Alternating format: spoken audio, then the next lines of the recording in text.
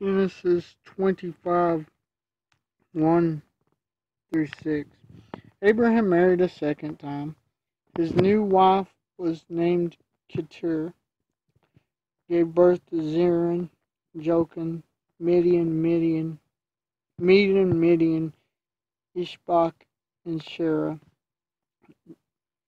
Uh, So here's a little bit. uh, First off, the only name we really know is Midian, Midian which is interesting because Jethro, Moses' father-in-law, was a priest of Midian, which was an area at that time.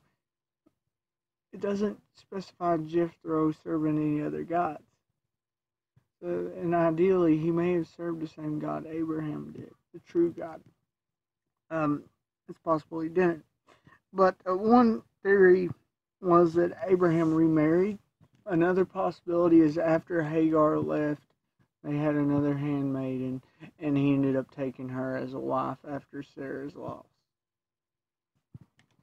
It's possible. Either scenario, both would have been traditionally done. Um, because the reason I say that there is because it talks about the wife of children of his concubines. And Ishmael was the children of a concubine, but if this was a secondary, it's another new wife, which leads me to believe it was a concubine. It was her handmaiden, and he just married her after her passing. Um, Deedon's Jokshan, Joshkin had Sheba and Dedan. Dedan's the descendants of Shurim, the Leshams, and Lebanon. Midian had Ephraim, Epher, Haddock, Abidah, Alda, all the net time from the line of Kirter. So this is all his descendants from this wife. Um, many nations and promises fulfilled, being fulfilled. Nations. That doesn't just mean Israel, although Israel is the blessed nation. Nations means that he had many.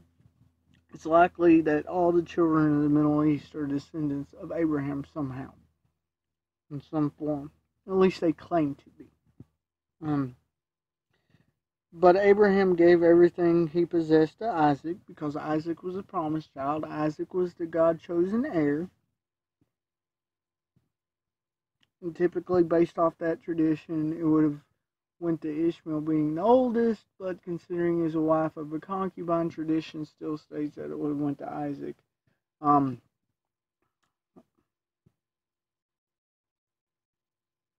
although if something happened to Isaac, then Ishmael would have been the heir. Um, I believe under customs. But e- either way, it wasn't customary. Why it was given to Isaac because Isaac was the one that was promised to be given to while he was still living. So he becomes an heir while Abraham's alive, which kind of signifies when Isaac's getting married, the servant refers to Isaac as his master.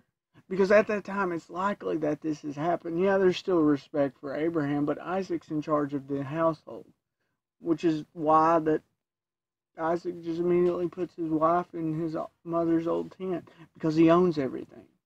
It's likely at that point he would have.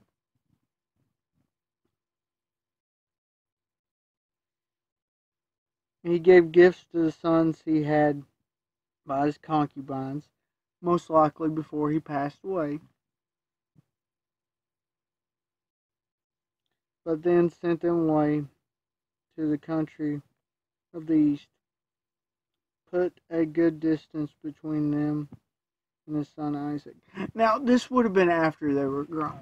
I, I think the idea is Ishmael would have eventually went away, but he had to go away as a boy based off of it. And God's plan was for him to go away as they were older. Now, he could have been very old at this point.